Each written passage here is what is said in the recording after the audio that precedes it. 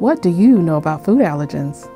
In 2004, Congress passed the Food Allergen Labeling and Consumer Protection Act, also known as FALCPA, which identified eight major food allergens milk, eggs, fish, shellfish, tree nuts, peanuts, wheat, and soybean, which account for 90% of food allergy in the United States. In 2021, Congress passed the Food Allergy Safety, Treatment, Education, and Research Act, declaring sesame as the ninth major food allergen. Food and Drug Administration, also known as FDA, is responsible for protecting the public health by assuring the safety, efficacy, and security of human and veterinary drugs, biological products, medical devices, and our nation's food supply, cosmetics, and products that emit radiation under the umbrella of seven regulatory centers, in which the Center for Food Safety and Applied Nutrition regulates our U.S. food safety.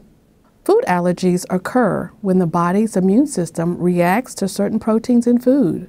Food allergic reactions vary in severity from mild symptoms involving hives and lip swelling to severe, life threatening symptoms, often called anaphylaxis, that may involve fatal respiratory problems and shock.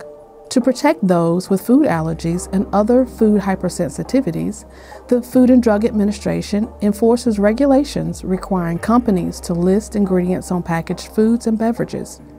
For certain foods or substances that cause allergies or other hypersensitivity reactions, there are more specific labeling requirements. When consumed, allergenic food proteins, unlike non allergenic food proteins, are not broken down into smaller units during digestion within the gastrointestinal tract lined with numerous immunological cells. Allergenic containing foods are consumed with the complex of protein structures intact and are mixed with saliva containing carbohydrate digestive enzymes in the mouth and are swallowed.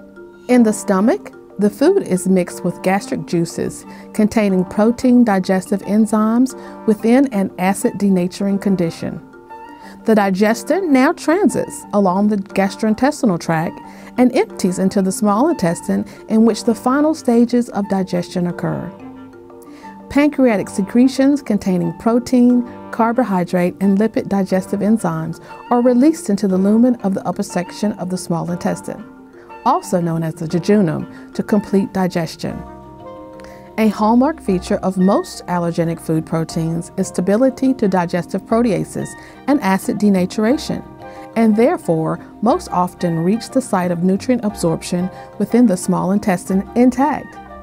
Partially digested allergenic food proteins are absorbed by the nutrient transporters in the small intestine and pass through the portal blood supply and liver to the systemic circulation and for the potential to elicit an adverse immunological response within the body, such as food allergy, in susceptible populations of consumers dependent upon age and health status, causing oral intolerance to food proteins.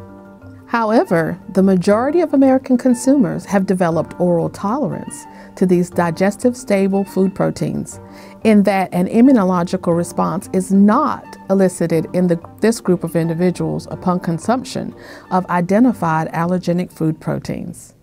Thank you for watching. I hope you've learned more about food allergy.